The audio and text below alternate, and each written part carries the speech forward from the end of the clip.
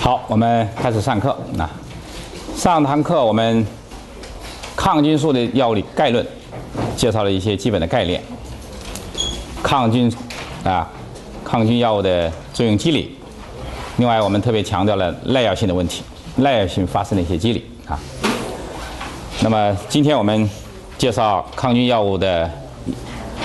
合理应用的一些原则，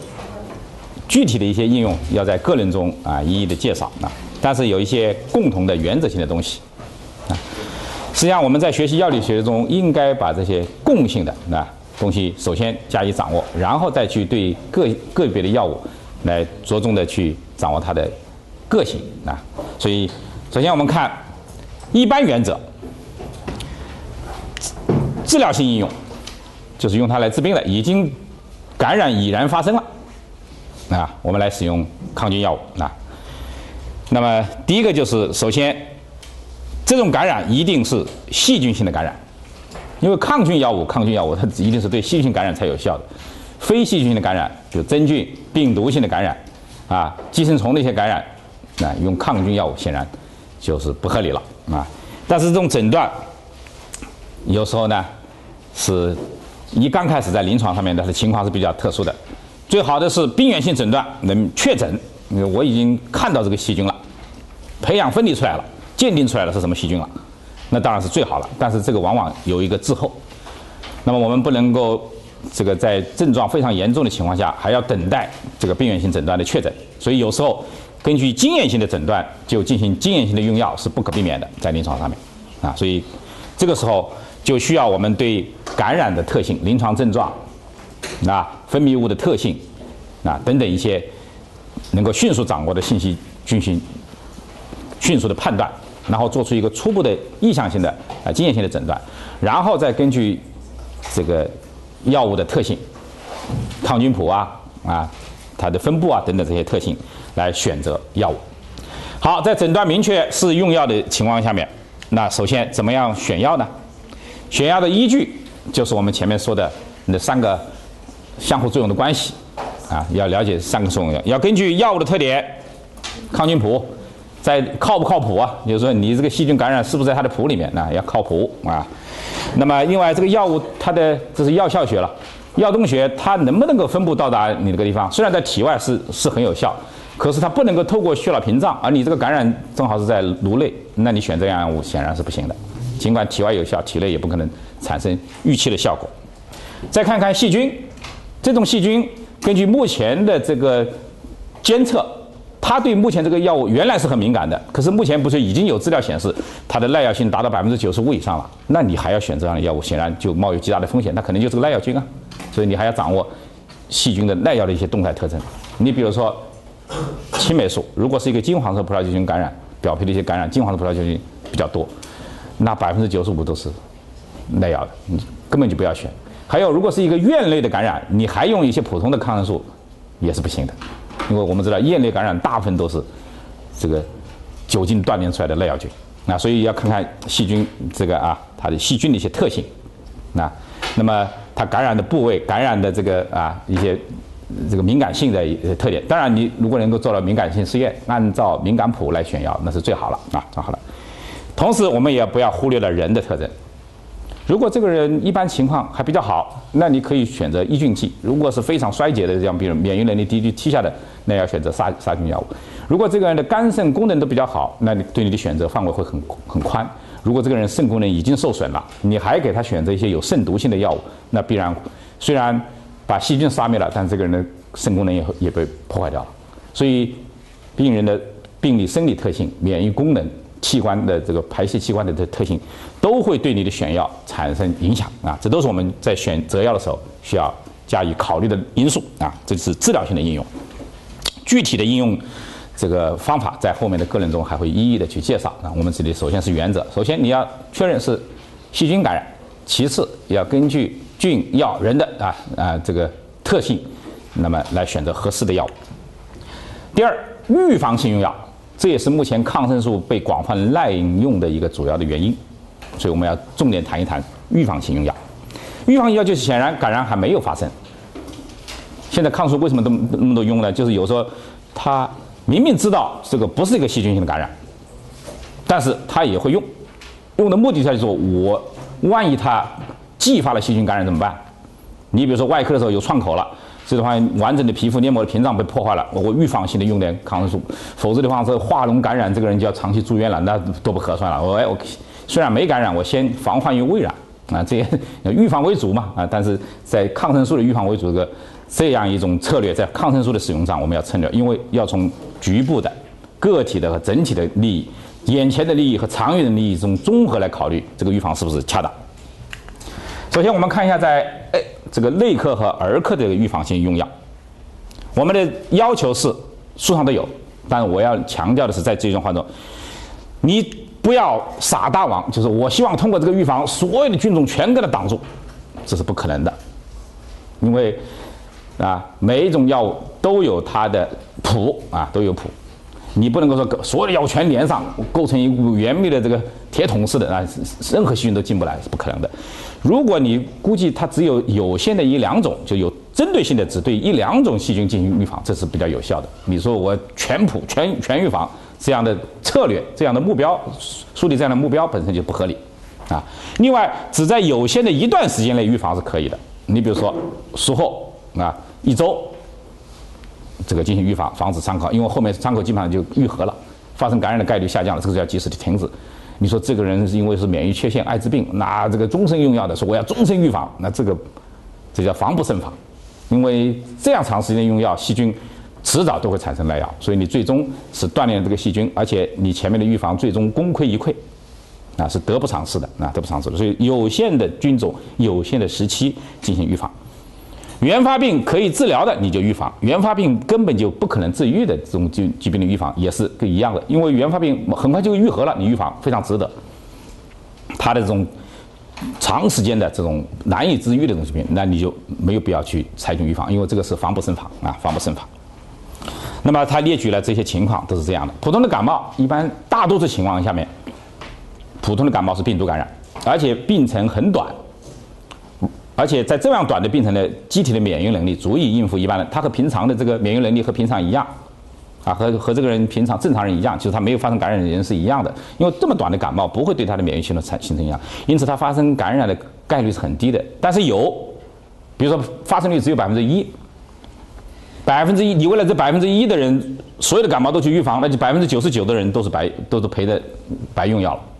所以从整体的这个策略来说，这是不不恰当的。所以从这个意义上来说，我们特别强调在预防用药上，你还要强调你的 cost effective，你这个预防的这个成本效益到底怎么样？你用了多大的代价来获得了这么小的一点预防上的收益？这方的 cost 是经济上的成本，也有你整个人群的风险，就是耐药啊这种风险，还有药物不良反应等等啊各种各样的这种风险。我们仅仅从经济学上面来算一个账，因为这比较容易算钱啊，比较容易算钱。你看。预防的总的效果等于什么呢？等于有感染者的他的医疗成本的总的节约。从经济上来说，我预防以后，哎呀，我的钱省了一大笔钱。啊，幸亏我预防了，我用了很很小的一点代价预防用药，最后就避免了一场严重的感染，最后来治疗，那一下可能是要几万块钱，结果我只用了几百块钱就避免了几万块钱的损失。如果是这样，经济上很合算啊，这叫 cost effective 啊。所以它的预防效果就是感染风险医疗成本的总的节约，等于什么呢？如果你不预防的时候，你的总成本和你有预防时的总成本之间的差值，就是你到底省了多少钱。那么具体来看，不预防的时候医疗的总成本啊，当然是发生感染。不预防感染的发生率，一百个人九十九个都都感染了，啊，零点九九，再加上感染的后平均的治治疗成本，一旦感染你会花多少钱？啊，那么你有预防的这个组呢，就是。预防这一组感染的发生率，比如说明显减少了，它肯定应该是一个比比不预防要少。然后呢，如果不会，我们不不指望它百分之百啊。我们预防以后，那也有一部分人，这个比如说感染发生率是百分之一，那百分之百分之一的人，那也要治疗。比如说，万一感染以后，它治疗的成本，这两个成本我们假设它是一样的，就是一旦发生的话，我们都要治疗的。当然。你要注意，你还要加上一个预防的成本，因为不预防的人是没有预防成本的啊。你预防了，你要加上这个成本，所以最后就是预防到底是感染减少了多少，再加上感染的平均成本，再减去你的预防成本，就是你的用药的从经济学上的一个成本。显然，从这个本上面我们就看，预防如果本身的代价太大，不值得预防，因为预防就要一万块。啊，因为你你要吃一年嘛，啊，那那很大的一个成本，但是发生率其实发生率你避免的风险只有百分之一的这个风险，因为实际上你就是不预防，大概也只有一这个一个人，把一百个人才只有一个人发生感染，那你那你这个感染的减少率的空间很有限了，因为不预防也只有百分之一，你预防了以后，让九十九个人都花了一万块钱，只减少了这个一个人的一个发生率，就非常的不合算，那不合算，所以呢，防不胜防的。最终防了半天，最后功亏一篑的这种预防，其实就不如放弃。等它发生了以后，我们再来再发生。还有感染的实际的这个不预防的发生率本身就很低的，比如说感冒本身就很低，你要去用一个成本来去发养，那不仅是经济上面，因为这预防的成本还包括不良反应的成本，那药这个药物上的成本只是一个部分，那这个加起来可能。会得不偿失，那所以你要从整体的、从人群的，不是针对这一个病人的角度来说，来制定这个总的策略，哪些是可以预防，哪些是不能预防。好，预防性的运用的，从外科的来说，清洁的当然就不要手术。那什么？那清洁的手术就是你这个创口，什么叫清洁手术呢？你的手术部位是无菌的，没有炎症，也没有损伤，也不和外界的这个腔道相通的。我们知道和外界相通的腔道。和气体相通的是呼吸道，和液体相通的是泌尿道，那么固体相通的是消化道，啊，这个气液固体呢，这个反正三，如果你这都都和这个东西相通了，那你这个东西肯定是因为这里面都有细菌的啊，自然的这些腔道里面都会有也菌的，那你肯定是要预防的，否则你的甲状腺做一下子，脖子上多干净啊，你你要去用这个就没有必要去，但是你说要脖子不小心把气把气管划破了啊，或者地方通了。啊，或者是有有这样的一个修补，呃，比如气道这地方有损伤了，那那就是变成非清洁伤口了，那你肯定是要预防了啊。那么预防术后的切口的感染，那么也相相应选择，因为在这地方主要是金普菌的啊，主要是金普菌的啊。那么是如果是肠道的话，仍然是阴性菌为主的，啊，因为这些部位，所以你要根据不同的部位选择这个有效的一个预防，而不要撒大网啊，普遍的这种预防啊。这一点是在预防用药中，如果你要预防的话，那一定要是达到效果。你比如说，有时候手术预防啊，我术前给你打两针，手术过了以后就后面就再也不管了。其实术前打两针，按照这个药物的半衰期，到了手术中可能它早就消除完了。那真正发生感染的时间是什么时候？是在术中，比如说你的啊，有时候这个空气中啊落在创创口上。当然，我们手术的这个环境现在是要求很严的。还有是术后。创口还没有愈合，这个时候才是发生感染的时候。所以，你这个真正发生感染的最有效的，应该覆盖覆盖整个手术过程，而不仅仅是术前。现在很多的预防就是我术前给你打了两针，后面我就不管了啊，因为我好像安，这实际上是一种安慰啊。你我我已经给他用用过药了，真正发生污染手术创口污染的高风险期反而没有药物啊，所以这个也是不合理啊，就是不强求实际的效率啊，只讲到我用过了啊。一般要术后要延长四十八小时，那整个覆盖整个手术期，这样才能达到效果啊，否则你就是无效的预防，等于预防的费用的空浪费啊。好，抗菌药物的合理应用，在特殊的这个病理生理状况下面，比如说你有肝肾功能损害，还有特殊人群中，老人，老人一般肾功能都低下的，氨基糖苷类我们一般都不常使用。近年来年年发生老老年人出现肾功能衰竭，很多人一看。长时间使用氨基糖苷类，那上次这个中华医学会的一个医疗事故鉴定就是的，这个人七十多岁了啊，出了一个泌尿系统感染，氨氢大霉素打了打了啊三个月，这个医生大概都忘了，因为医嘱签签上去以后，如果医生不在后面签名的话，护士就会每天打每天打啊，反正你反正没有让我停嘛，他就他就周而复始打，他又不做监测，最后这个人肾功能衰竭，但是呢，医生。在答辩的时候，他说这个人是泌尿系统感染，这感染上行性最后到了肾脏，所以这个人死于肾那个感染性的这个肾功能衰竭。但是我们说你在这么长时间的这个使用氢大霉素中，不对病人的肾功能进行监测，而且病人老啊这么长明明显超过了这个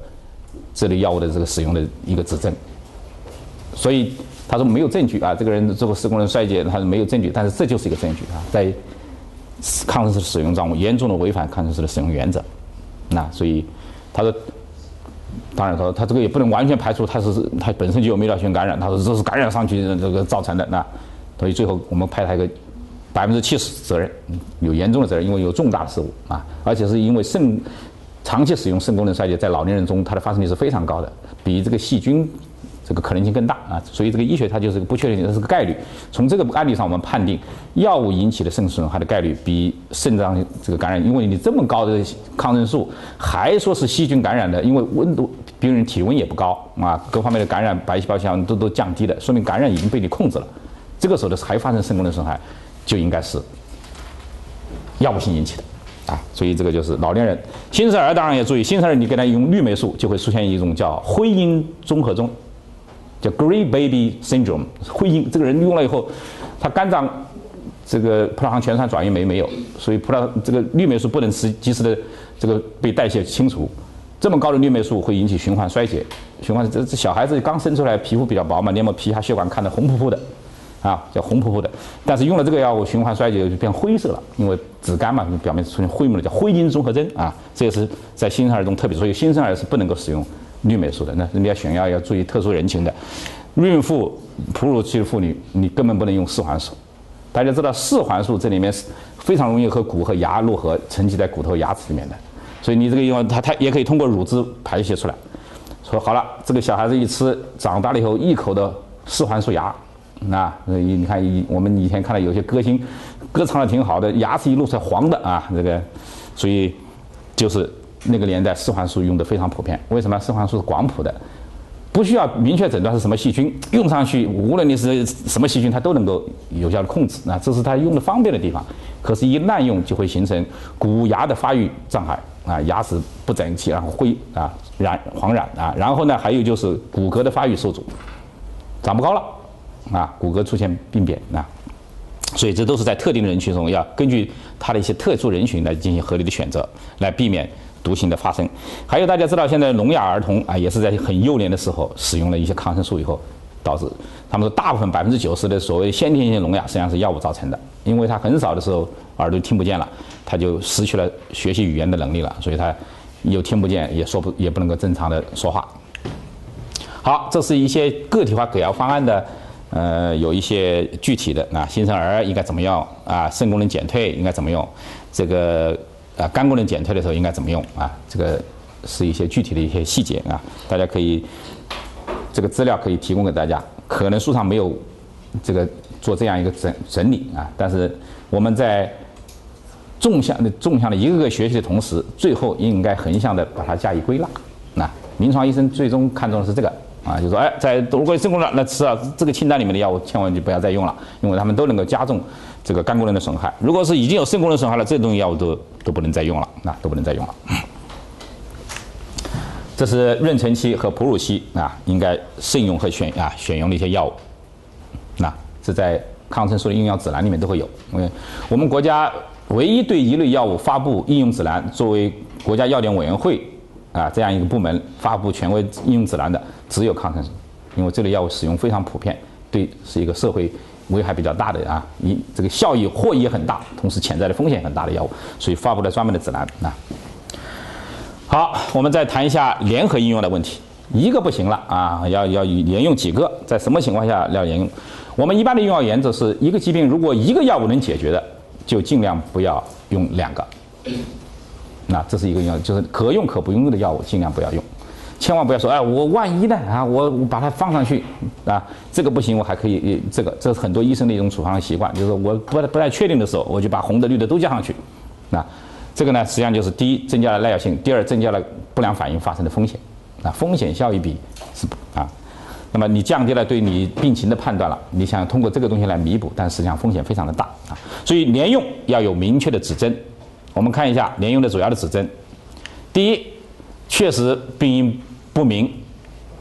但是轻度的病因的不明，你可以猜一个，然后以这个进行预防，然后必要时再做进行调整。不是说只要是不明的，我全部都都加上啊，应该尽量的根据的临床的这个症状和体征来加以这个判断，所以这取决于临床这个医生的一个经验啊经经验。病因不明，同时又是非常严重的，你才需要连用，因为。病因不明，万一我猜错了，就是病因不明，你只好根据你经验去诊断嘛。通俗的话就是你猜一个嘛，猜的正确和不正确取决于你的经验。那，那么但是万一你判猜错了以后，病人会为你的这一次猜错的错误，如果承担过大的风险的话，那这种情况下面，那你要有有所弥补，那你就连用几个，那这样可以降低你万一弄错的这个风风险。所以，病因未明的严重感染，可以先取得标本送去查啊，赶快取样。但是等待那个还有还要时间啊，那我就先连用几个啊，不管你是格兰是阴性，格兰是阳性的，什么我全部都至少先给你控制住。哎，等待报告来了以后看，哦，是是对这个应该的，赶快把那个停掉。啊，它只是一个暂时的，防止这个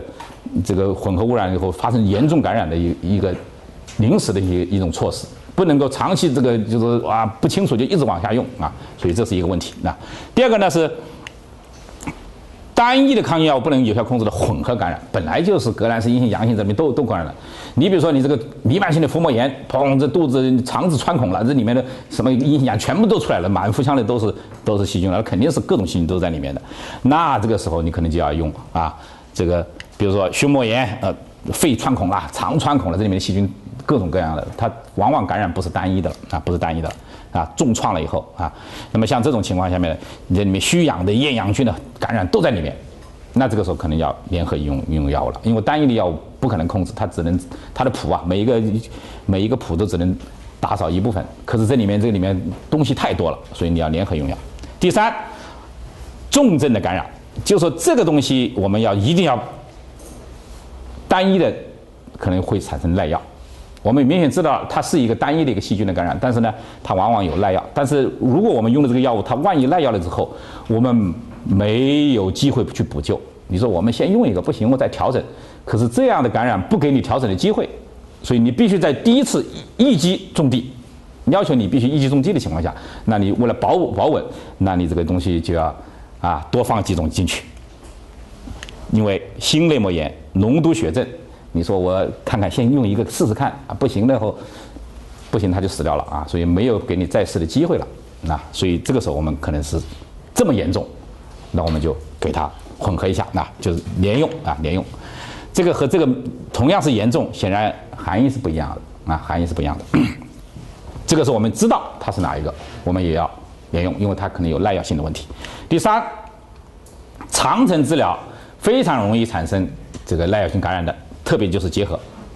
结核现在耐药菌非常的，前面我们讲了，在明星这个耐药菌中，结核就是我们国家最啊超级结核菌，现在越来越多了。所以只要是结核感染，又那么长的时间，耐药是不可避免的，肯定会发生的。那我怎么来减轻这个耐药的发生呢？那就是我连用几个，你耐了 A，我还有 B 呢，耐了 B 我还有 C 呢，耐了 C 我还有 D 呢。那所以现在一下子五个就上去了。那这个东西要想逃过五重打击，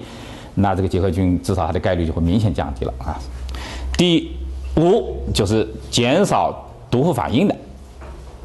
那所以连用可以增效，还有一个目的是为了减毒，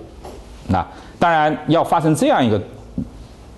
产生这样一个作用的话，有一个前提，就是这两个药物的抗菌作用是可以相互协同增强的，但是它们的毒性却不会协同增强，这是一个前提，就是我们的对其他的这个器官的损害，比如你可能是对肝脏有损害，哎，我是对肾脏有损害的。但是我们抗菌在细菌上面是没有，那大家都都可以用上去。在抗菌上面我们协同了，在肝上面我们你的剂量也小点，我的剂量也小点，哎，大家就各自不会造成这个严重的不良反应。像脑膜炎，脑膜炎大家知道，我们现在深部真菌感染最有效的药物就是两性霉素 B。两性霉素 B 是目前治疗深部杆菌最有效的，但是它又是毒性最大的。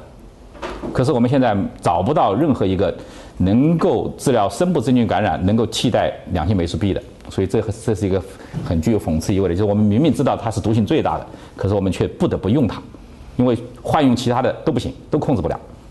啊，这就是现在深部真菌我们感染我们面临的一种窘境。那么因此很多的课题都在深部真菌感染开发开发开发开发到现在，还是良性霉素 B 好。哈，所以良性霉素 B，但是它的毒性很大，用过以后这个人浑身就开始发冷颤抖啊啊，然后呢心脏会出现心律失常啊，然后肾脏会出现严重的损害，神经系统会出现严重的这个神经性的损害。哎呦，它的这个毒性非常的大啊，毒性非常的大。那么怎么办呢？那我们就加一个福胞嘧啶，福胞嘧啶的对深部真菌的感染有一定的效果，但是效果不强。把它和福胞两性霉素 B 连用可以增效，这样可以适当的减小两性霉素 B 的剂量，而疗效由于有福胞霉素的协同，又不至于明显降低，所以可以产生减毒的这种作用。那是这样一个目的啊。所以这样五个指针，我们大致可以看成叫蒙混抗中毒啊，就是让你回答一下你这个指针是什么。第一，你自己还很朦胧的，不知道是什么东西的，不不清楚啊，诊断不清楚的中毒感染，然后混合感染，然后有抗药菌的感染，有非常重要器官的啊这种感染，啊就是我们不能承受这个要必须一击中地的啊。第四个就是最后那么毒性，为了减减毒这个目的，我们来。所以像这样的一种这个考试记忆的方法，就是说我们很多。这个同学愿意去回答选择题啊，选择题。可是我们往往分数多的呢，都是问答题啊。这个问答题为什么和选择题有差别呢？就是它需要你主动的去回忆。选择题呢，它主要是让你再 recall，让你再再认一下哦，确认的是这种，主要是分辨一下。那么你在记忆的时候，给每一个点加上一个标签，那就很容易搜索了。所以记忆，尤其是记忆的这个想不起来，其实不是信息消失了，是你没有把它。弄上缩影，没有检测出来啊。好，抗菌药物的联合应用有这样几种情况。首先，我们把抗菌药物按照它的作用性质大概分成四四大类，一个是叫繁殖期或者叫速效杀菌剂，这细菌处于繁殖期就杀进去，像贝塔青霉素类或者叫贝这两个药物都叫贝塔类酰胺类，它是破坏细胞壁的。前面我们讲过了，只有这个细胞繁殖的时候，它才需要合成细胞壁。那所以呢？这个呢叫繁殖期杀菌，还有静止期杀菌剂，氨基坦苷类、多链菌素类，这个呢都是，就是你不繁殖的时候啊，处于静止期的时候，我也能杀灭你，这叫静止期杀菌剂。当然，对繁殖期也能杀灭啊，也能杀灭，所以它只是一个，那么它的特点是在静止期也能杀啊，也能杀灭。第三类是速效抑菌剂，能够迅速的抑制细菌的生长繁殖，当然不能杀死它啊，能够迅速的抑制。这个呢是慢效抑菌剂，就是它的效率比较弱一点。啊，效率比较弱一点，叫慢效抑菌剂，这四大类。那我们看一下这些药物如果放在一起的话，大概产生的后果无非是相加，就一加一等于二；协同，一加一大于二；拮抗，一加一小于小于一，啊，小于一，啊。那么像这种情况下面，那就是它的抗菌效率下降了啊，无非产生这样一种情况啊。那么联合的效果，我们特别要注意，一类和二类就两种杀菌剂联用，一般是可以产生增强的。青霉素加氢大霉素，啊，青霉素针对革兰氏阳性，氢大霉素针对革兰氏阴性，那同时对一些耐药菌啊，它都是产生杀灭的。青霉素把壁破坏掉，让这个氢大霉素更多的能够透入到细胞里面里面去抑制蛋白质合成。你看它的作用机理相互都是非常非常协同的，那非常协同的。一个是破坏壁，让这个药物让氢大霉素更多的可以钻到这个包浆里面去抑制蛋白质合成啊，所以这两者加在一起是协同的。一类和三类则产生拮抗，所以这个青不要配红啊，这个青红帮这个青青的别别配红，青配红本身这个美学效果就不好啊，所以这个加在一起会产生拮抗的，因为一个快速的抑菌剂用过以后，很快使得细菌从繁殖期进入到静止期。好了，你这个呢用的呢又是一个繁殖期杀菌剂，那不是相互拮抗了吗？啊，它让这个细菌更多的处于一种静止态，是是会降低对快速杀菌剂的敏感性啊，因为你抑制它的繁殖了，它不繁殖了，那它它就不合成壁了，不合成壁了，那对你的靶点那相应来说它就少了啊，所以这两个会产生拮抗。那么其他的一些类别都可以用啊，但是呢，一般都是产生相加啊，产生相加啊，或者是也有会产生增强的。那就主要的禁忌我们要避免一和三啊，避免一和三的合用啊。那么这地方有两个注意，作用机制相同的同一类药物，那么你就不要再用了啊！我有磺胺嘧啶、磺胺噻唑，那都搞磺胺，还有这个喹诺酮类或者头孢，我搞几个头孢放在一起用，这个靶点都一样，大家重叠的在上面了，相当于在一个上面增量了啊！往往这个是相当于，那就是说你看上去就不像那个靶点不同的在一起合用，往往可以增效。你靶点在同一个靶点上的相互挤了，你上去了我就下来了，那大家起不到这个。起不到这个协同的这个作用啊。联合用药注意也会使毒性相加，要注意啊。有些药物的联用，比如万古霉素有肾毒性的，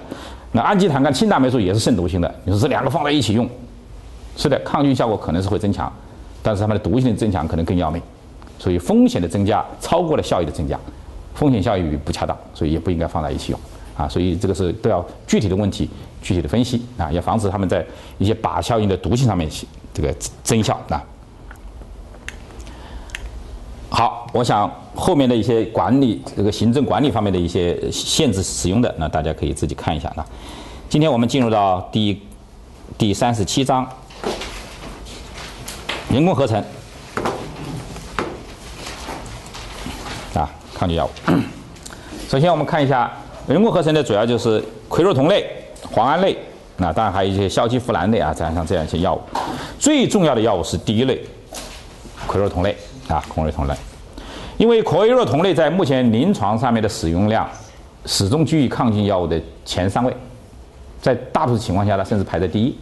就是比一些抗生素的使用还还多啊，还多。它是一个人工合成的啊，人工合成的。简单的概述一下它的发展，其实这类药物在上世纪六十年代就开始出现第一个了，赖定酸。然后呢，在进一步的情况下，第二代。七十年代的吡哌酸，这是第二代的。那这两类药物的主要的都是针对革兰氏阴性菌的，所以在当时主要是因为青霉素比较对革兰氏阳性菌的控制比较好了。可是当时我们面临的主要的威胁就是对革兰氏阴性杆菌，就是肠道里面的啊这些细菌，我们没有很很有效的药物。因为一来我就以青霉素，哎，把大部分的革兰氏阳性菌都去掉了，整个这个。格兰氏阴性菌的这个感染在临床上成为一个突出的问题，所以大家一直在开发这类药物。那么喹唑酮的出现，无疑在这个方面弥补了抗菌谱上面青霉素就是贝塔类酰胺类主要针对格兰氏阳性菌的这这样一个不足啊。所以呢，这一类是一个很有效的。那么格兰氏阴性菌主要是针对的我们泌尿道、泌尿生殖系统，还有这个消化道、胃肠道系统。因为这些部位主要是一些厌氧的格兰氏阴性菌的感染是比较多的，那比较多的。那么呼吸道呢，气体的，那就是和我们的表皮呢，这个主要就是格兰氏阳性菌比较多的啊，比较比较多的。所以它对于泌尿道和胃肠道的感染是比较好的。在最初当然很有效，但是这类药物耐药性很快啊，耐药性很快。到了八十年代，出现了氟喹诺酮类，在上面加了一个氟，这就是目前的一类的杀星类。啊，伊洛沙星啊，啊，氟洛沙星啊，沙星、沙星都是加了氟的，啊，叫氟喹唑酮类啊。氟喹唑酮类加上以后，一个最显著的改变就是它的抗菌谱一下子从革兰氏阴性变成对革兰氏阳性也很有效。一般一个药物一既对阴性阳有效，又对阳性有效，那我们觉得它是广谱了，啊，它的抗菌谱就变成广谱了，啊。而且相对于第一、二代来说，它的这个耐药性。安全性都明显的改善啊，明显的改善。从九七年开始，那出现了所谓第四代，也叫新氟喹唑酮类。这一类呢，问题反过来了，就是当我们把开发了很多的抗革兰氏阴性菌的药物，这个开发了很多以后，包括头孢类，到后面一些新的头孢也是针对革兰氏阴性菌的。哎，这个事情。这个细菌的这个又出现了新的变化了，这个耐药菌又以革兰氏阳性菌的这个耐药又开始突出出来了。那刚开始是阳性菌青霉素来了后，把阳性菌打下去了，阴性菌就上来了。喹唑酮类上来呢，和四代头孢呢，又把阴性菌按下去了。而现在阳性菌耐药又成为突了。像我们上次讲的几个这个代表明星的，你看耐甲氧西林，那金普菌啊，耐这个这个肺炎球菌啊，耐青霉素的肺炎球菌，这都是革兰氏阳性菌。所以，革兰氏阳性菌感染成为主要的危险，主要危险。那么，因此第四代的主要就是要针对这个啊，所以它突出的一个特点又叫做呼吸道喹唑酮类，因为这类肺炎球菌嘛，主要是引起呼吸道感染的啊。所以，泌尿生殖系统、消化道系统啊，这个我们已经很好解决了，而呼吸道又成为一个问题了。所以，呼吸道就是第四四代头孢新的氟喹唑酮的一个主要的一个亮点啊，就是它针对肺炎链球菌的感染有比较好的特点。当然，它还继承了、保留了前面的这些广谱的一些特性，但是呢，从临床的应用上、特征上面，它主要是针对呼吸道的耐青霉素的肺炎啊，这个肺炎链球菌感染的。好，这就是第一代，这个当然我们不管它，它已经淘汰了。第二代基本上毒性比较大啊，渗透比较大，所以已经很少使用了。现在临床大量使用的是第三代、第四代呢，现在这个比还出啊，也也开始逐渐。使用越来越多，因为它通常比较比较贵一点，啊，比较贵一点，所以在三甲医院使用的比较多。氟喹唑酮主要是在这个地方有个氟啊，这是它突出的一个构效关系。它主要的这个作用的靶部位是因为它抑制 DNA 的合成嘛，是在第三位、第四位上的这些集团构成了它的一个药理学活性集团啊，主要在这个部位啊。如果这个部位发生破坏以后，它就产生耐药啊。好，福克尔酮类的一个体内的过程，可以概括为这样四个特点：一个是吸收好。这是这类药物广受欢迎，在临床上广广泛使用的一个主要的原因，所以它可以口服，口服以后吸收很好。你看，有很多的青霉素都得打针，啊，这个东西尤其这类药物曾经在儿科也广泛使用，因为小孩子都不愿意打针啊，给他糖吃也不愿意打啊，就是能吃药可以，打针不愿意啊，所以呢，这个依从性就很差。这个小小这个父母又比较心疼小孩子，一叫啊，还尽量给我吃。可是后来发现，福克尔酮类在儿科不要用。为什么？它会引起跟腱炎和跟腱断裂，还有软骨的发育会受受阻。那这是首先在动物实验中被报道出来了。好了，那就说你这个儿科就不要用了。但是呢，实际我们到儿科去去去调查与了解呢，这个儿科医生还会给他开，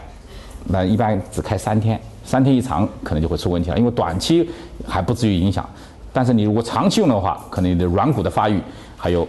跟腱。它会出现关节疼啊，一关节疼那就麻烦了，这个东西就说明它副作用都已经产生了。我们通过动物实验发现，它是可以影响软骨发育的，那影响的软骨发育，这是有确切动物这个实验证据的。在临床上面，长期用药的人也会出现骨关节损伤和跟腱断裂，跟腱都断裂了啊，这个还是蛮严重的啊。所以在儿科的应用，虽然它口服吸收好，但是在儿科应用也要加以限制。但是在其他的课程成因中，由于它的口服，所以一般出院带药啊，基本上都开上福福福克尔酮。如果需要用，还有感冒啊什么，呼吸道感染呢，都喜欢用它。所以它的使用为什么这么多？与它的用药方便是一个很重要的特征啊。另外还有它分布广泛，在体内到处四通八达，到处都可以去啊。呼尿肠啊，就是三大三这个三三大通道啊，气体、液体、固体啊。呼尿肠这个它都可以去，所以这部分的感染都可以用。原来是后面两个为主，现在这个到了福克尔酮类啊，这个呼吸道的这个也也能很好了，那也能。那么骨关节、皮肤，所以全身各处的感染用它都都很好啊，都很好。所以这也是它应用非常广泛的一个，因为它的体内的分布没有明显的一个局限性啊，没有明显的这个限制。但是在骨关节的这个分布，其实也是它容易发生骨关节和肌腱损伤的一个原因啊。还有就是它多数是圆形经过肾脏排泄，这个很好，因为如果你在体面代谢，主要以代谢产物进行肾脏排泄的话，那基本上对泌尿系统的感染效果就很差。哎，但是呢，你圆形有大量的圆形从肾脏里排泄出来，那对泌尿系统的感染效果就很好。所以在泌尿系统的感染一直是这类药物杀星类药物一个主要的一个应用领域。啊，就是泌尿系、泌尿生殖系统的感染，啊，泌尿生殖系统感染往往是它们的感染特征是相似的，啊，在女性有生殖道，啊，在男性有前列腺，啊，像这些这个生殖系系统的感染和泌尿性的感染，一般它的感染菌源是有相近性的，啊，所以我们这说的尿道也包括泌尿生殖系统，呢，那么可以与注意，在它的一个体内过程中，我们要注意，它容易和铁、锌。镁，其实这里面还差一少一个钙啊，铁、锌、镁、钙啊，因为它容易到骨里面，它也容易到钙里面去啊。这些二三价的这些阳离子是可以螯合的。